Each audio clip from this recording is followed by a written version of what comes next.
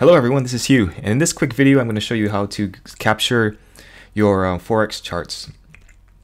Uh, there's basically two ways to do it. So first of all, if you're using MetaTrader, um, you just go to File and Save as Picture, and this will come up.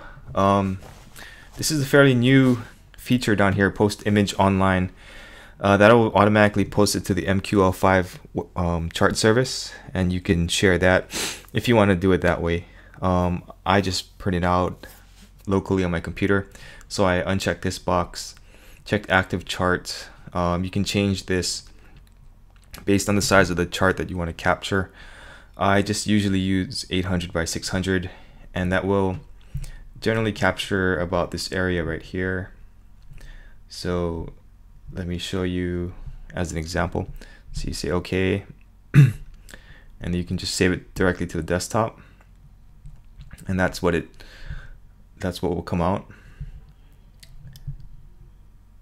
So as you can see, it doesn't capture exactly everything that you see on the screen. Um, it kind of goes from yeah, or it actually goes from this edge all the way till here which is the 800 pixels.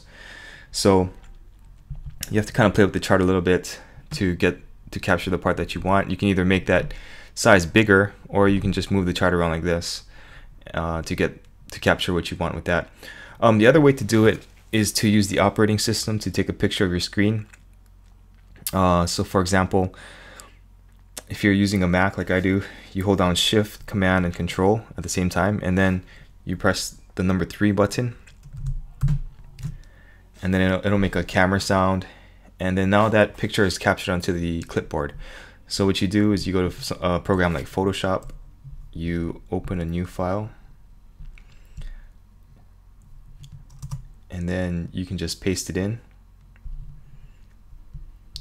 Edit and then paste. And then you'll get the screen capture there and you can edit it accordingly. Um, if you're using Windows you just hit the print screen button and then you do the same thing you can just post it in uh, paste it into Photoshop. So I hope that helped and thanks for watching